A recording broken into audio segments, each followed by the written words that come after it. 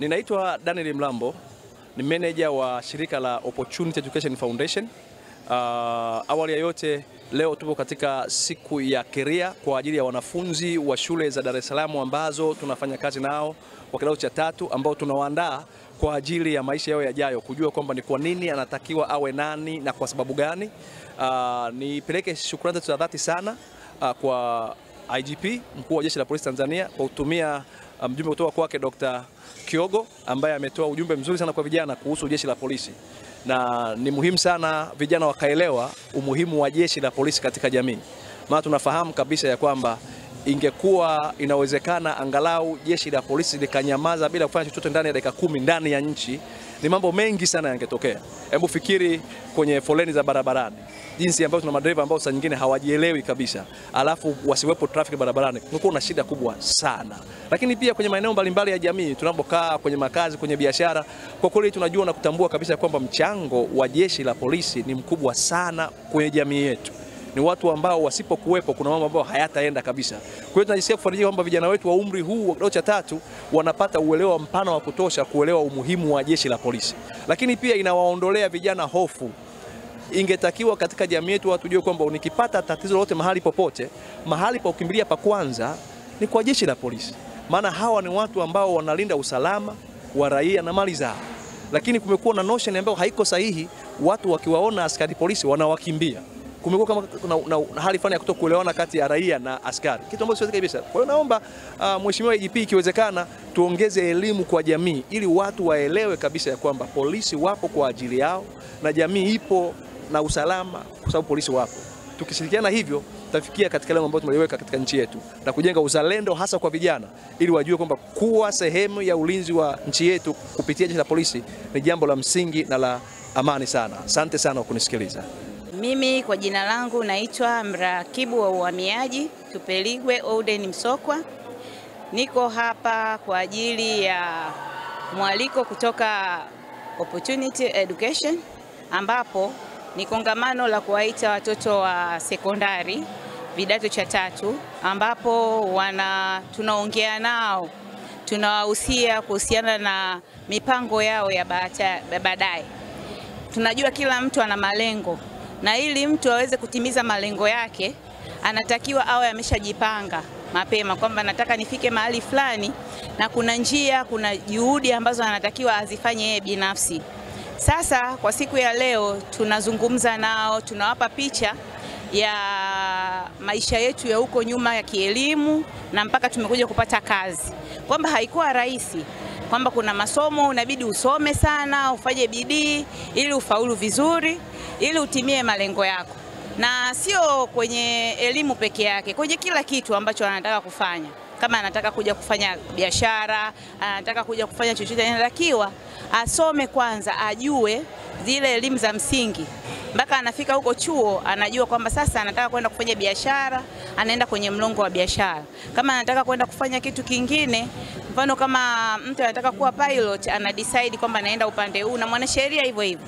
Sasa kwa upande wangu mimi kama afisa uhamiaji, kwanza kabisa idara imeshukuru kupata nafasi kama hii kwamba kwa sisi uhamiaji tunatamani hawa vijana wadogo waelewe kwanzia wakiwa na umri huu umuhimu wa jeshi hili la uhamiaji, kwamba sisi ni walinzi wakuu wa mpaka wa nchi yetu, kwamba tuna, tu, yani sisi ndo tunaoruhusu uingiaji na utokaji wa wageni na vile vile na ukaazi wa wageni hapa nchini.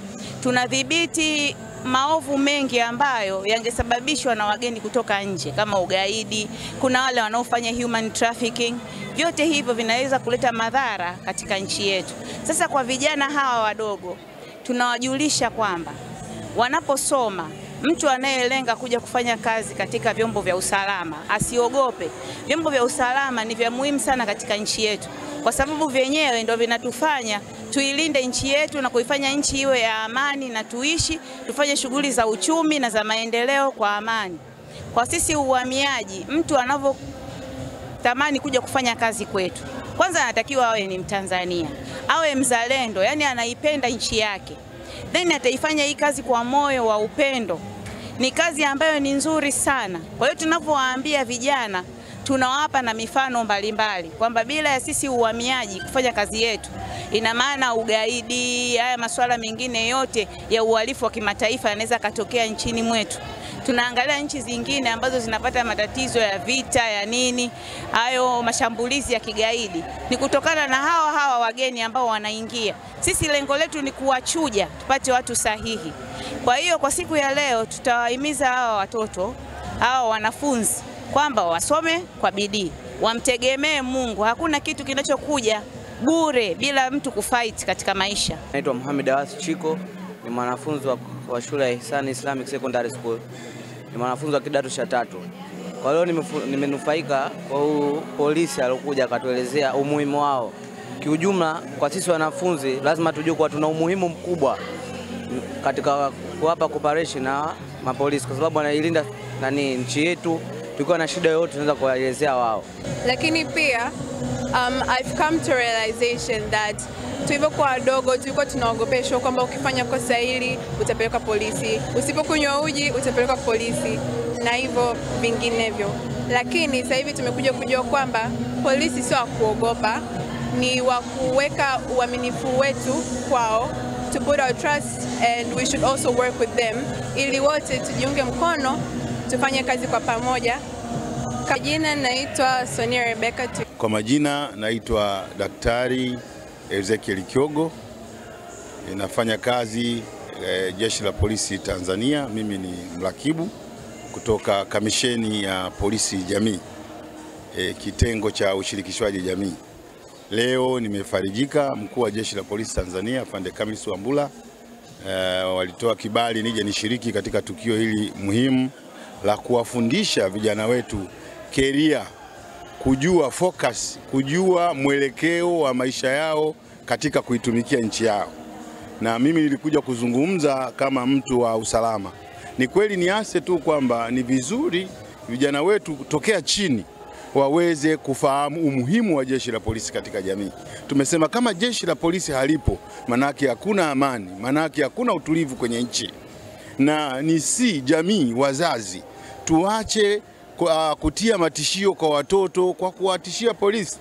Mtoto akikataa kula unasema kula, usipokula nitakuitia polisi. Ile inajengeka kwa mtoto kiasi kwamba ana hawezi kuona kama polisi rafiki, bali inamtengenezea kuona polisi kama ni adui. Jeshi la polisi ni rafiki zenu. Sisi kwa pamoja tukishirikiana, tunaweza kutatua changamoto za uhalifu kwenye jamii, kwa sababu jamii, kwenye jamii ndiko uhalifu unaotokea. Kwa hiyo ni rahisi zaidi wanajamii kubainisha changamoto ambazo ziko kwenye jamii, lakini kushirikiana na jeshi la polisi kutatua changamoto zilizopo. Kwa hiyo ni wasii lakini pia kuna changamoto moja kubwa. Hebu tuwaandae vijana wetu vema, ili wawe wazalendo, ili wawe waadilifu, ili wajengeke kuwa na matumaini kwa ajili ya kuwatumikia wengine. Iko changamoto kubwa hata hivi sasa hivi. Uh, imefanyika tafiti, inaonekana vijana walio wengi kati ya kumi wanasema ni mmoja tu ambaye anakuwa mwadilifu, wengine wote wanakuwa sio waadilifu. Sasa ni nani alaumiwe? Je, ni mzazi au taasisi za kielimu au jamii?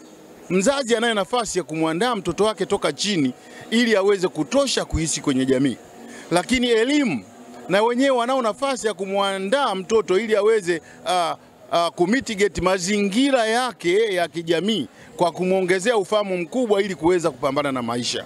Lakini nasisitiza pia tuwaandae vijana kujituma na kufanya kazi na kuamini kwamba wao wenyewe wakijengwa katika msingi wa kujitegemea, elimu itatumika tu kwa ajili ya kuweza sasa kuwaongezea maarifa zaidi. Lakini niseme sasa kwenye engo ya usalama kwamba jeshi la polisi ni rafiki, jeshi la polisi liko kuhakikisha jamii ya Watanzania inakuwa salama, jeshi la polisi liko kuhakikisha watu wanazali Amiri,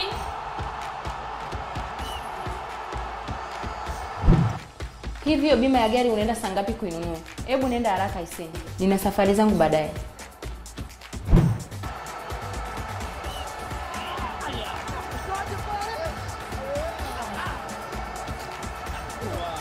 Hivi wewe bado unafanya nini humu ndani? Sister, nimeshanunua tayari. Acha utani. Umenunua wapi? Mbona sikuelewi elewi? Huwa natumia bima ya papo kununua bima kwa urahisi na uharaka. Angalia simu yako hapo, kutumia cover note kitambo. Tumia bima pap kwa kupiga nyota 150 nyota 51 alama ya reli au kwa WhatsApp tuma neno bima pap kwenda namba 0764166066 ujipatie bima. Mitoto ya siku hizi mijanja. Bima Pub, urahisi wa maisha.